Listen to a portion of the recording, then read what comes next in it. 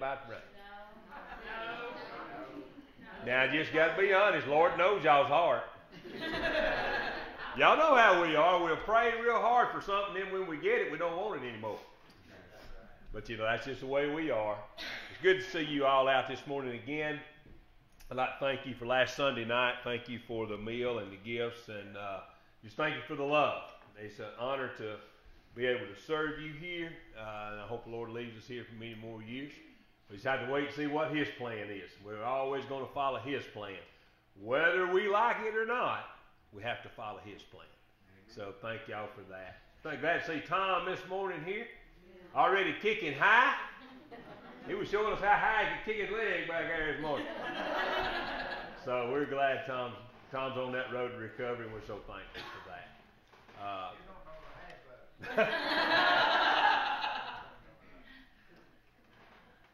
he come out of recovery with his leg up in the air. I believe it will. Huh?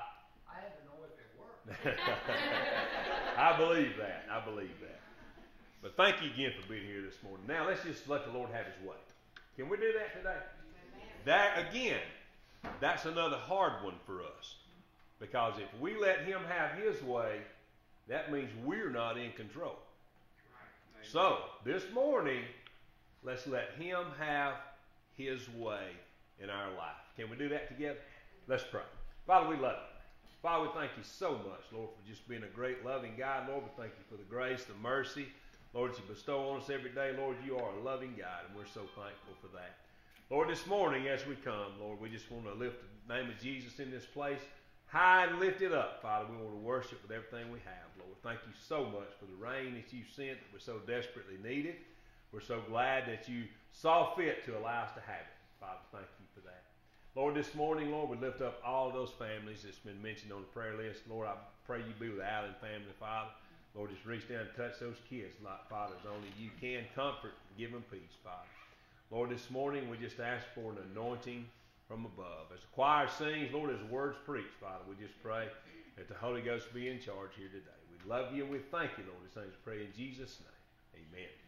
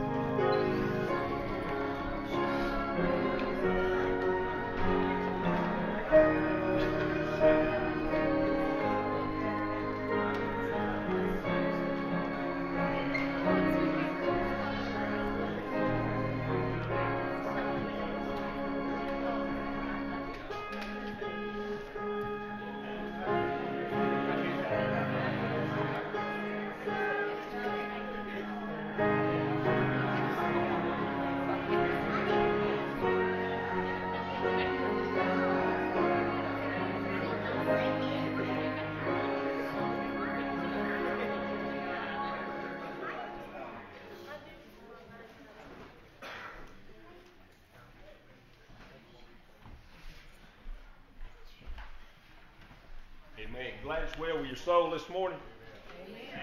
Let me tell you something. If it's not well with your soul this morning, it's not God's fault.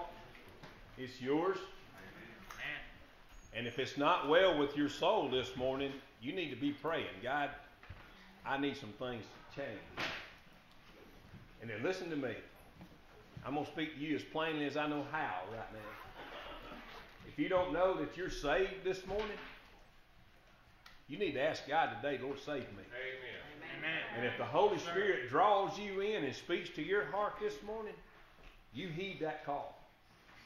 And you say, Lord, save me. Because you know what? You don't know when your last day is. Right. 49 year old man left this world yesterday, not knowing it was his last day. Was it well with his soul? I can only pray it was. I can't answer that question for him, nor his family. But you know what? That's one he has to deal with. Should have already been dealt with. Hope it was already dealt with. But you know, we got to speak for ourselves this morning. And you know what I've realized? That when it's well with our soul, like we sang just a few minutes ago, everything else seems to just be better. You ever notice that? Right. Everything just seems to be better around us. So, how is it well with our soul? What do we know when it's well with our soul? And no, I didn't have any of that written down. When are you going to use that? It's just come to me, okay? When it's well with our soul, we understand things a little bit different. If you got your Bibles this morning, turn with me to Romans chapter 5. I want to share a few verses out of the first part of this chapter this morning. I'm telling you, book of Romans, we know it's a, it's a book that most of our doctrine is taken from out of the book of Romans. Because it deals with sin, it deals with the justification, it deals with the therefores, okay? It's got a lot of therefores in it. The therefores in there is, listen to me, the therefores are therefore things that you need to know, all right? It's things that you need to etch into your brain. It's things that God's going to teach you to help you be better, okay? Listen to this. Just, just a couple therefores out, out of the book of Romans. Therefore, there is condemnation. Romans chapter 3, verse 20 teaches us that. Listen. Therefore, there is justification. Romans 5 1, we're going to deal with that here in just a minute. Therefore, there is no condemnation. Romans 8 1. Therefore, there is dedication. Romans 12 1. You see all those therefores that are in there?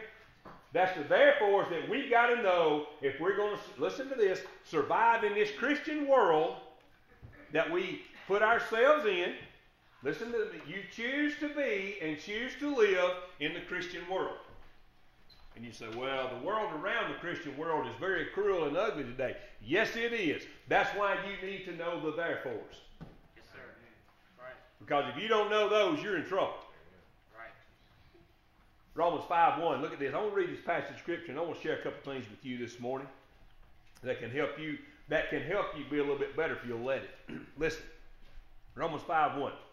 Therefore, being justified by faith, we have peace with God through our Lord Jesus Christ, by whom also we have access by faith into his grace, into this grace, wherein we stand and rejoice in hope of the glory of God.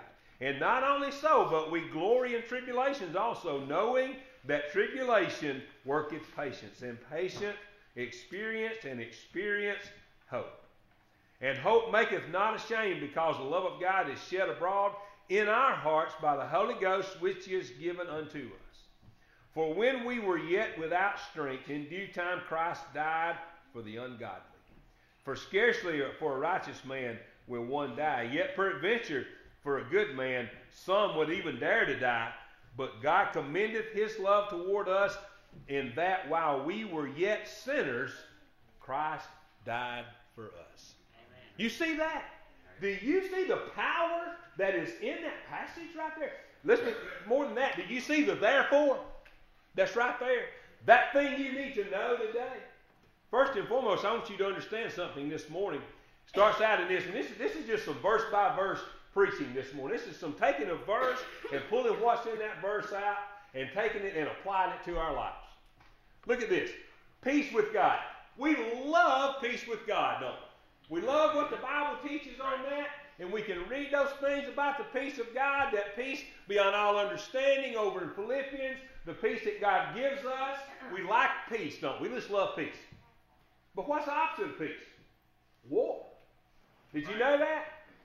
Peace with God. And I want you to understand something this morning.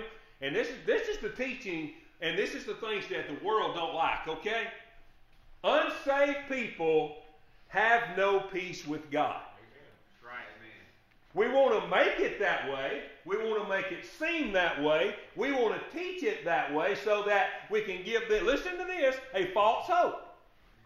An unsaved person has no peace with God. Why? Because they are at war with God. Why are they at war with God? Because they are an enemy of God. Right.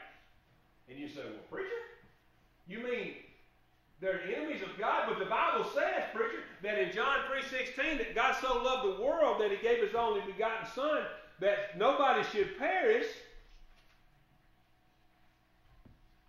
but I would have eternal life.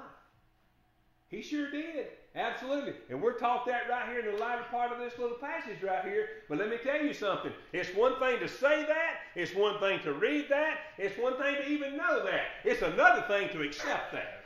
Right. That's a whole other thing right there is to accept that. And if you want peace with God, you have to accept that His Son shed His blood for you. And if you're unwilling to accept that doctrine, if you're unwilling to accept what's being taught right there, you'll never come to know Christ as Savior. Right. And you'll never have peace with God. Isaiah teaches us, 48:22 says, There is no peace, saith the Lord, with the wicked.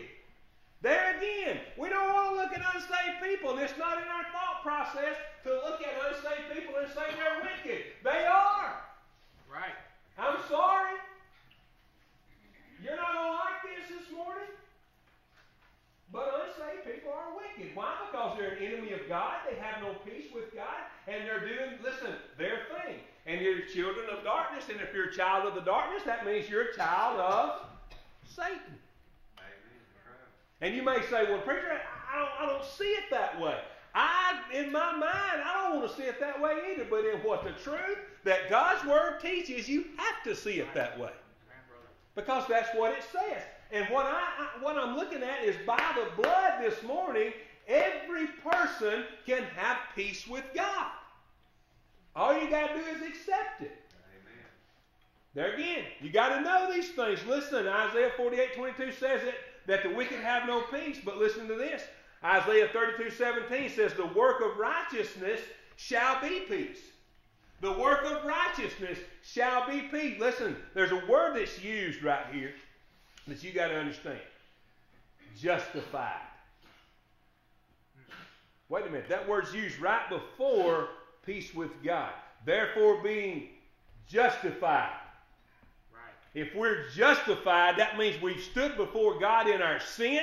We've claimed our sin to Him. We've given our sin to Him. And you know what He's done to us? He's thrown that sin in the past, and He has justified us to stand in His peace. Right. He, that's a legal term. Justified. But you know what? We were dead to the law. But through the grace of God, we know peace with God that comes through justification. To know the peace of God is to be right with God, is to be justified. That doesn't make you the perfect person. That doesn't make you holier than thou. That does not, listen to this, that doesn't even make you better than the unsaved person. What that means is you're justified in the eyes of God, your righteousness is in the eyes of God, and you're saved through His blood. That makes you one of His and gives you peace. Amen. And gives you peace. You see that? Romans is a hard book. I'm telling you, Romans is a book that will flat out wear you out. And if you're going to teach the book of Romans, I don't care if it's in Sunday school, wherever it is, if you're just going to do a personal Bible study in it, you better be ready to study and get kicked. amen Peace with God. And you say, well, preacher, I see what you're saying, and I see what the Word teaches right there. But how can you look at an unsaved person and call them wicked? The Bible says we're supposed to love them. I do. I sure do. And I'm not going to run up and call them wicked. the Word of God's going to call them wicked because what's going to happen is the Holy Spirit of a holy God is going to begin to speak to their heart. And you know what? You know what the Lord done when He saved me? He spoke to my heart and He called me wicked. He said, You're wicked. You're evil. You're a child of Satan. I'm giving you a way out right now. You're bound up in your sin, and I'm giving you a way out right now. If you'll come right now, speak right now, come to where I am, confess me, I'll save you, and you won't be wicked anymore. God. And you won't be wicked anymore. I'll, oh, I'll justify you. I will justify you. Why? Because you cannot justify yourself. Because that's trying to live in the law. Have you ever compared yourself to the law? When you compare yourself to the law, as the word teaches, you're headed for hell, okay? Point blank. I don't know how else to put it. You say, well, that's, that's harsh. I know. But thank God I'm justified. Condemnation, listen to this. Condemnation means that God declares us sinners. Justification, God declares us righteous, which is a declaration of peace. Which is a declaration of peace. It does not mean we won't have wars in our lives. It simply means we've got peace with God through those wars in our lives. Right. Amen. You're going to face wars, I'm telling you. You are going to face wars. Do you know how hard it was for me not to be mad at the rain yesterday?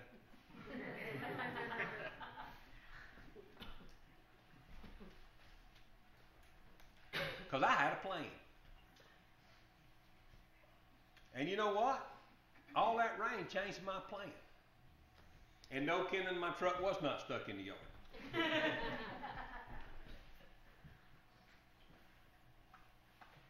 but I sat there. I was soaked to the bone. And it was I wanted to be mad at God. I wanted to say, God, why? I know we prayed for rain, God, but today? Why not tomorrow? Why not yesterday? Why today? And he began to tell me, he said, because that's when I wanted to see it. The day he saved you, the day he justified you, is the day that he wanted to save you. Yes, sir. And when we look and we say, I missed that day, or that day came and I heard him calling, I heard him saying, Come to me and I'll save you, come to me and I'll justify you, and I turned him down, I pray that he calls you again. You know why? Because the Bible teaches he don't have to call you again. Right. But it's through his grace that he will. Amen. We hope. As children of God, peace rules, but the unsaved are at war. That breaks my heart to know that unsaved people, good people, are at war with God. But it says that. Being justified by faith, we have peace with God through our Lord Jesus Christ. No other way. Not only do we have peace, I like this, this next part. Not only do we have peace with God through our Lord Jesus Christ. How many of y'all love Jesus? I hope every hand in the house goes up. If there's a hand don't go up, I see you, I'm coming to pray with you. I mean, I'm going to call you out. I'm coming to where you are. We've been to pray. Through our Lord Jesus Christ. Do you see what that does right there? When we use that term, our Lord, that puts it in a plural sense. That's talking to the church, and that's talking about the church. That's talking to the body of believers that has accepted Christ right there. Our Lord Jesus. But it also, too, can be brought down to a personal level to right on to a one on one to our Lord Jesus. And if you're ever going to know peace, you're going to have to know our Lord Jesus. And He's going to have to be the ruler of your life. The Bible says, Isaiah teaches over the ninth chapter that he is the prince. The prince of peace. Isn't that good? I'm glad that Prince of Peace is my Savior. I don't know about you, but I'm glad he's my Savior. But this next part, want you look at this. You have an entrance. How hard is it? Now, I, this drives me crazy. Now, I'm back on Walmart. I'm back on Walmart, okay. How do you spell enter? E N T E R, right? And how do you spell exit? So why do people continue to come in the exit door when they're supposed to come in the entrance? I've been wondering that myself. Think about that for just a minute. It is a blatant violation of what it says. Think about it. Think about it. It is written there. And it's written. Would you put it there just for no reason? Would you put it there just to have it there? Enter here, exit here. That's pretty simple, isn't it? Until you get to Walmart. Because there's no regard for the enter or the exit. Let me tell you something. When we're justified, we have peace with God. But I'm going to tell you something. We also have an entrance. And it ain't spelled exit. And you only get there by one way. You have access. Look at this. Look, look, look at this. I get excited on this one. by whom also we have access by faith into his grace. Amen. We have entrance by faith into his grace. Nowhere in that passage does it say exit. Nowhere in that passage, in that little part of that verse of Scripture, does it say exit. It says entrance. It says access. It says, look at here. Through the blood of Jesus Christ, you're going to come in right here. This place. So, what does that mean? What does that mean in our life? Listen, did y'all know that the Jew was kept away from the presence of God or, or the place of God by a veil? Did y'all know that? By a veil. And did you also know that even further back from that veil, that the Gentile, me and you, were kept away from the presence of God or away from the place of God by a wall. Uh-huh. Did you know that? By a wall. So, in other words, we had no access. Uh-huh. There was no entrance. Do you know what it said on the wall where the Gentile had to stay? That, that place where the Gentile had to stay at? Do you know what it said on that wall? If you go beyond this point, you will be killed. There was no entrance. You couldn't go in. You couldn't get to where God was. But, oh, I like them butts, don't y'all? Don't y'all like those butts? But, by the blood of Jesus Christ, Luke chapter 24, 22, verse 45 says that the veil was rent from the top to the bottom so that the Jew could have access to the Lord Jesus Christ. Praise God. Amen. They could have access by the entrance where the veil rent to God. He said, Boy, I'm glad the Jews got in. But do you know what Ephesians chapter 4, chapter 2, verse 14 teaches us? It says that not only did the Jews get in because the veil was rent from the top to the bottom, but by the blood of Jesus Christ, the wall of partition was torn down. Yes, sir. That means the Gentile got in because the blood of Christ tore down that wall, and now we have access and entrance to a holy God. Amen. You see that? Does that not excite y'all? Amen. As much as it does me. It has interest. We have a place because Jesus Christ died for us. And what does that mean for us? Listen to this.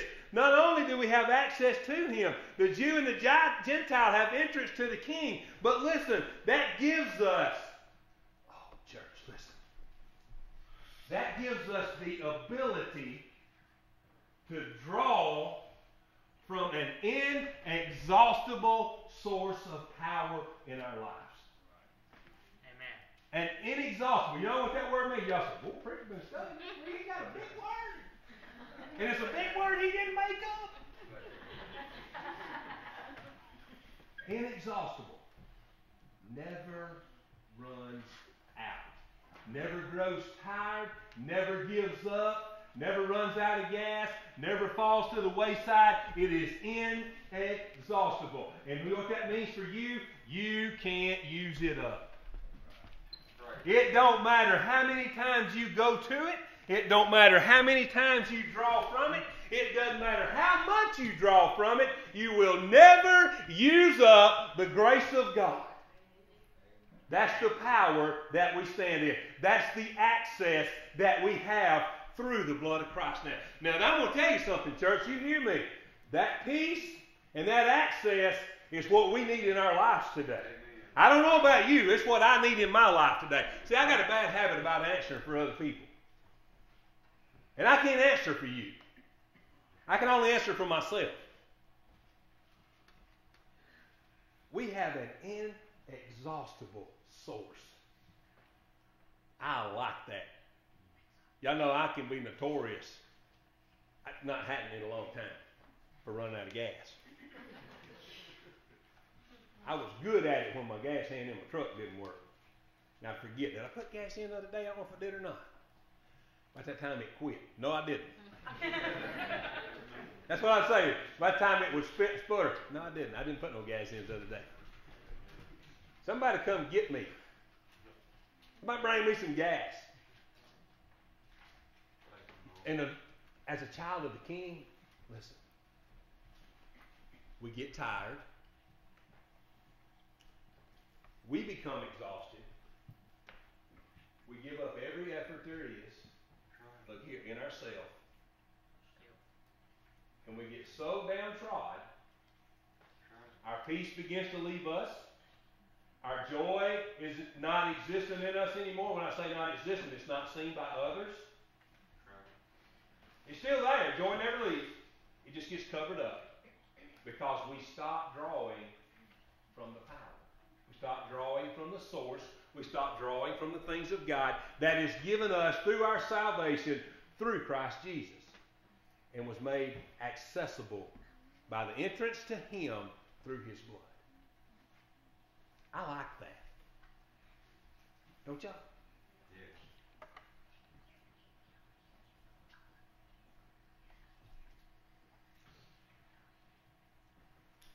Ephesians 1 7 teaches us this. Listen, we can draw from his inexhaustible riches in his grace because we're redeemed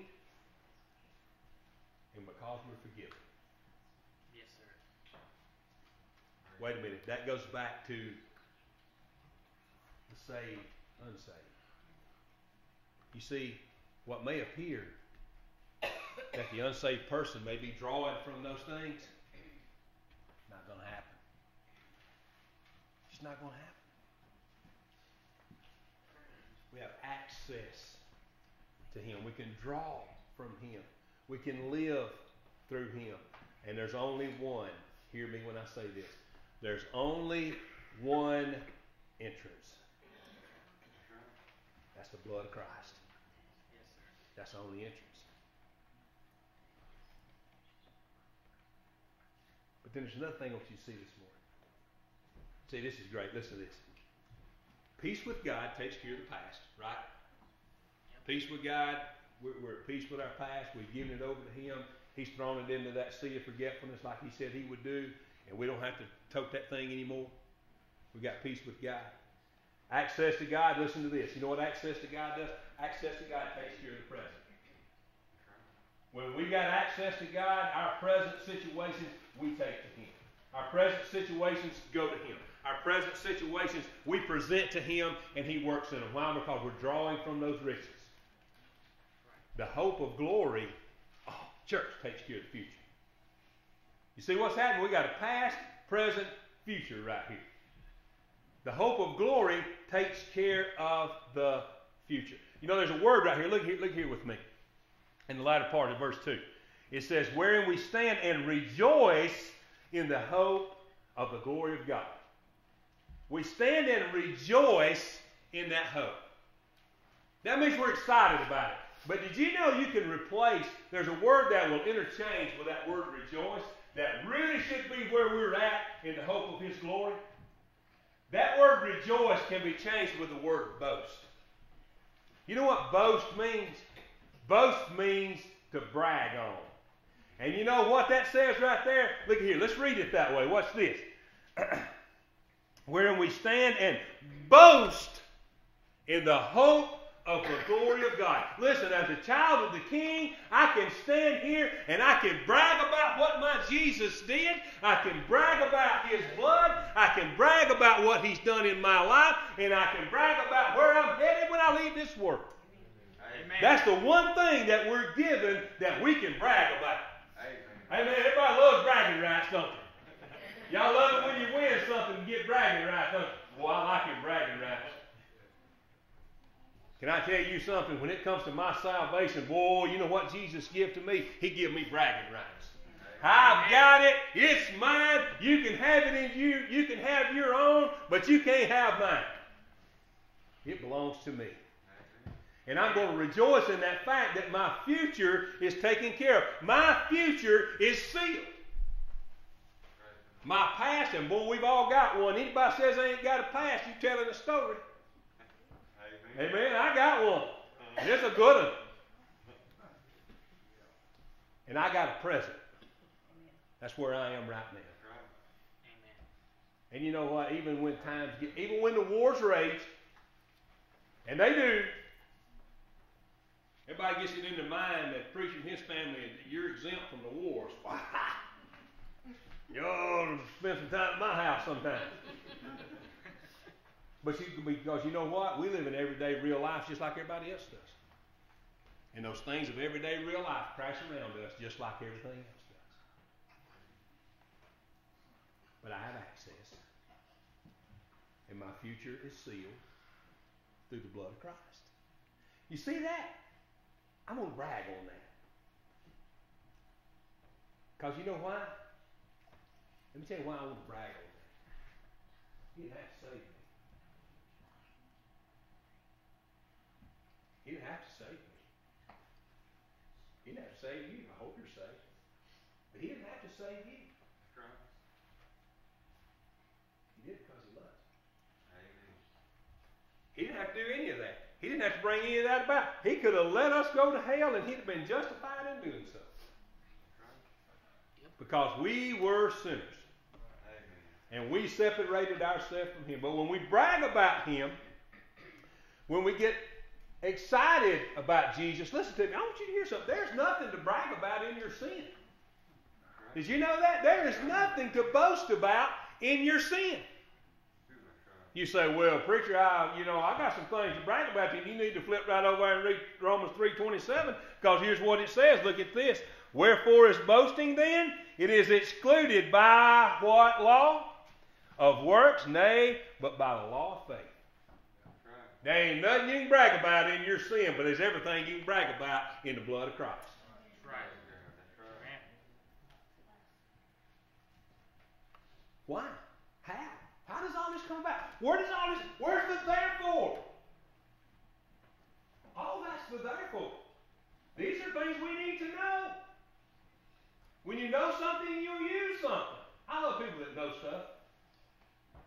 I worked for a man one time. this is funny. I worked for a man one time. I was in his office and he was just chewing me out about something. About something somebody else done. But he said, you know what? Everybody ought to be born knowing something. and I looked at him and he said, you, you see what I'm saying? Not really. He said, everybody that's born ought to know something. I stood there minute, I scratched my head, I said, What? something. So at that point, I said, "You just can't think of nothing else to say right now, can you?" He said, "Not really." I said, "Okay, I'm gone." Everybody ought to be born knowing something. Did you know we are and don't realize it? We're all born into sin, That's right. Right. not realizing. Even a baby, even a baby is born into sin. That's right. You say, preacher, how can you take a precious baby and say that that baby is born in sin, conceived in sin, brought into sin? Baby was born in sin. That baby has to have a redeemer to be saved. Right.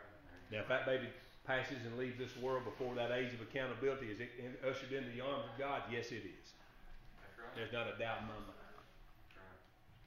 Not a doubt in my mind. But once the Lord starts speaking to a heart, that's when you have to accept and say, I will. But there's nothing to brag about in our sin, but there's everything to brag about in Jesus. Latter part of this chapter. Verse 3 and 4 are going to build your character. They're going to build your patience, build your endurance, build your character. I want you to think about this. I want you to put yourself back. I want you to think about this. Unsaved person, I want you to listen to this. If you're here this morning. Saved person, I want you to remember this because this is you. Listen to these words. Verse 6.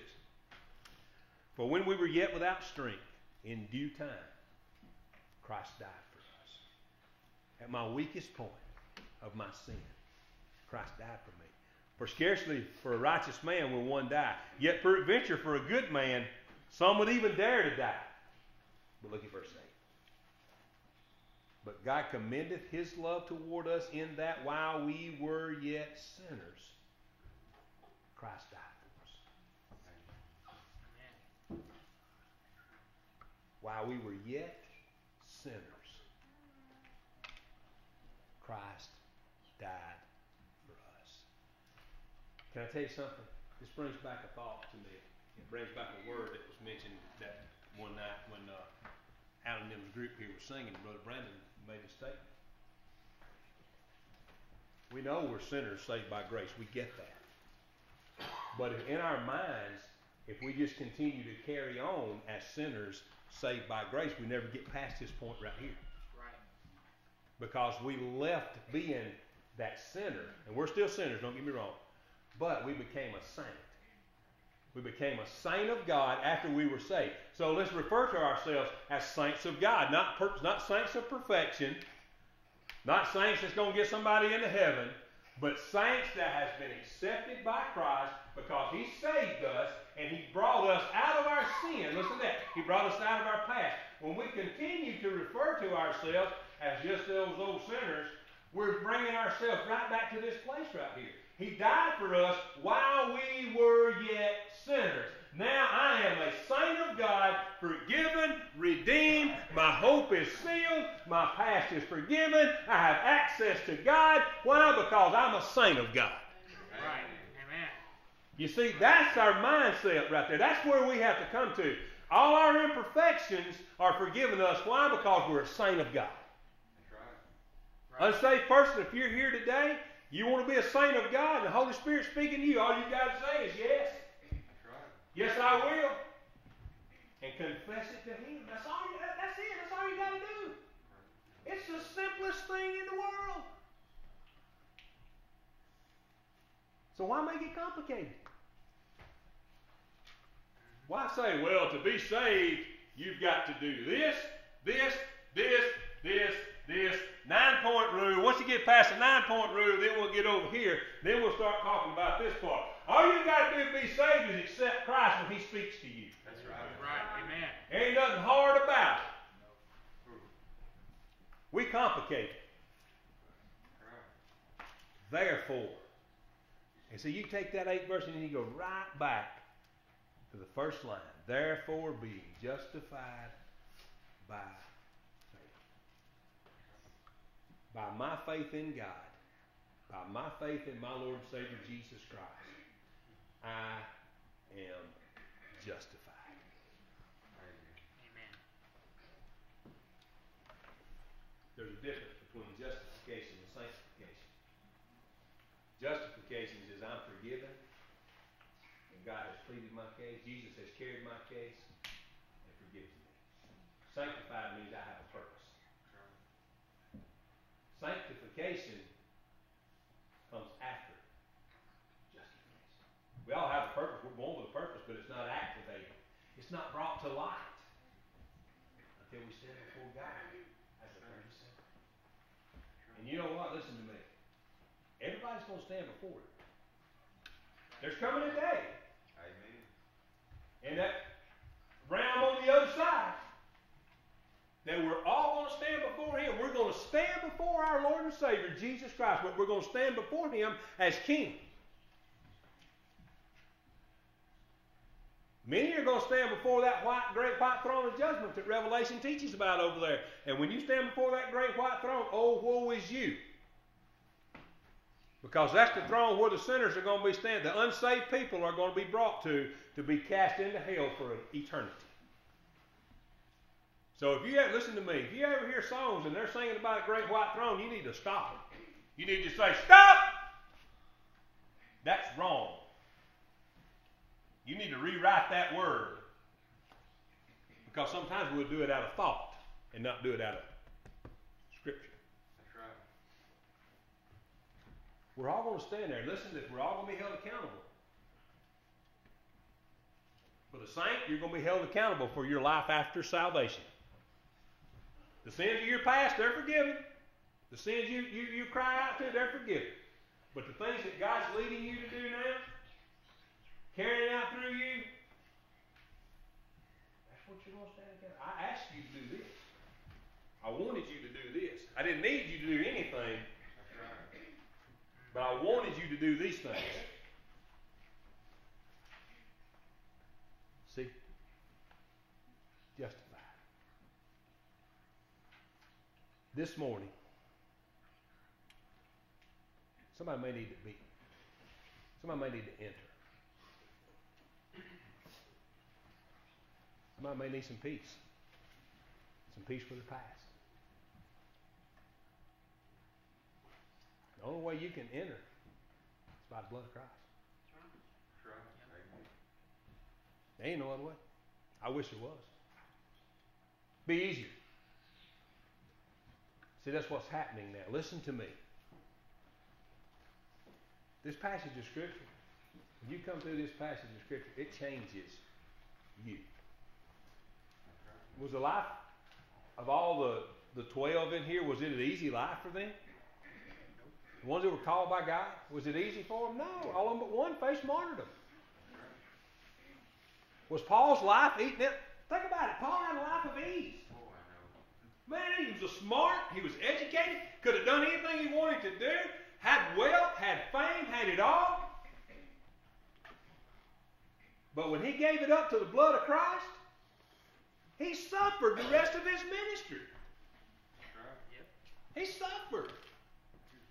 Now, he had prosperous days just like we do. We, we, we think because we read what Paul's written that every day in Paul's life was that downtrodden day. That's not true. Every day as a life of a Christian is not a downtrodden day. Why? Because if you choose to boast and rejoice in your King, well, he'll make it a good day for you, regardless of what's raging around you. Amen. You know what we told him when he, when he was asleep in the boat? They started across the, the, the, the sea over there, and it got a little rough, and their faith got a little weak. They said, Somebody wake him up. Somebody wake him up now. We're going to die if you don't wake him up. And when they woke him up, and he stood at the side of the ship, and he said, Peace, be still. And what they say, what kind, what manner of man is this? What kind of man is this that the waves and the winds and the storms obey his voice? What kind of man is this? This is that same kind of man that would give his life for somebody out in their sin so that the storms could be calmed. Amen. Praise God. Praise God. So if you got a storm today, something's raging in your life today, or listen to this. It's one thing to brag about our Lord and Savior to a world. It's another thing when you come to Him and you brag to Him about who He is in your life. Amen. Praise God. Think about that one for just a minute. When's the last time you did that? I need to brag. I need to boast to Him for who He is and what He's done in my life. Praise God. Paul said, "I am what I am because of the grace of God. Amen. Man, I am what I am. You are what you are because of the grace of God." This morning, as the Holy Spirit is working this morning, the Holy Spirit's moving in some hearts this morning. I feel it. Amen. We sang that first song, that same spirit is moving this morning. But you got to be willing. Church, are you willing today to say, you know what? I've got access, but I don't use it. I'm trying to enter by the exit. I need to get to where Jesus is. Just for a few minutes this morning. Maybe here this morning you realize I'm lost. I need to be saved. I need to make my salvation known this morning. I need to come to Christ. I got to take a step. Maybe here this morning you just realize I've just been in a guilty distance for a long time. I need I, I need a lot of Jesus in my life. Amen. All you got to do is come to Him. So as you stand this morning, they call the song 290 in the church hymnal. two nine. Church. Church hymn. As you stand this morning and as the Holy Spirit begins to deal, the Holy Spirit begins to work, it begins to make you realize and make you think where you are with Him today. Let's boast in Him today. As they sing this morning, hey, don't hesitate. Come where He is. Come in a hurry. The quicker you can get there, the better you'll be. On the chorus now.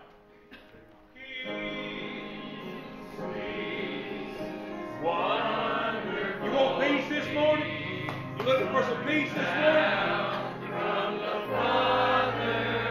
Come where he is. Come where he is this morning.